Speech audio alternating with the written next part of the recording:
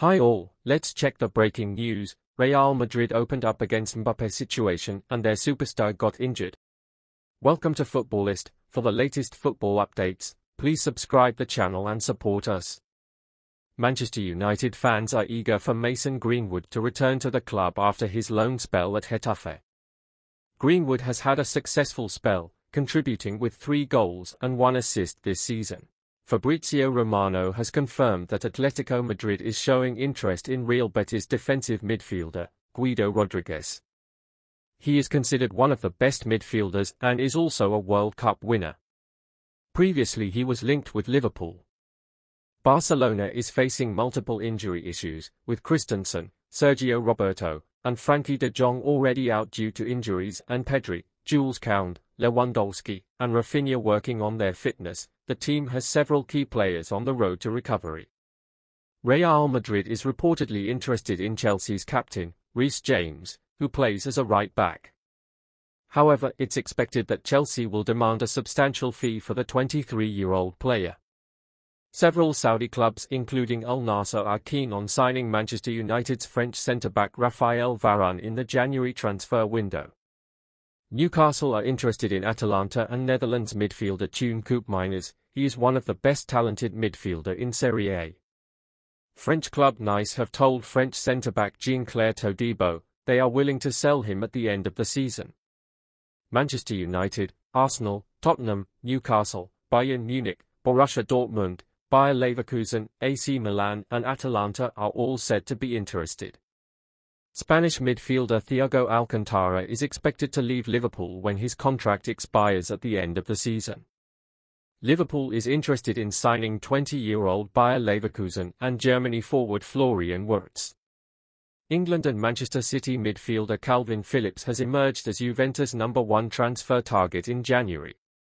Tottenham Hotspur have also joined the race to sign Phillips.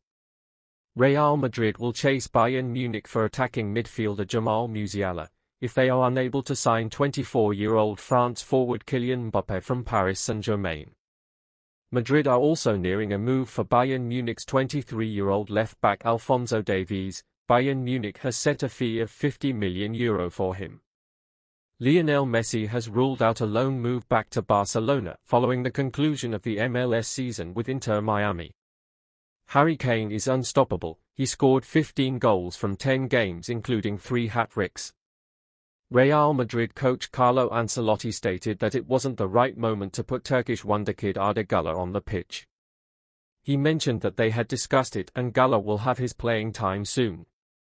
According to reports, Real Madrid will not be making any signings in January, and they have denied the Mbappe rumors. The club's intention is to maintain a quiet situation and allow Mbappe to decide on his future in the coming months. Jeremy Doku the new signing of Manchester City, had an impressive performance, scoring one goal and providing four assists in just 60 minutes during a Premier League match against Bournemouth.